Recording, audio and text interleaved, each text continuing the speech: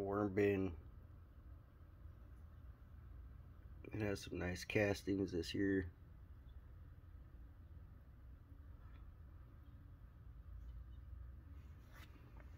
That's it. I'm out.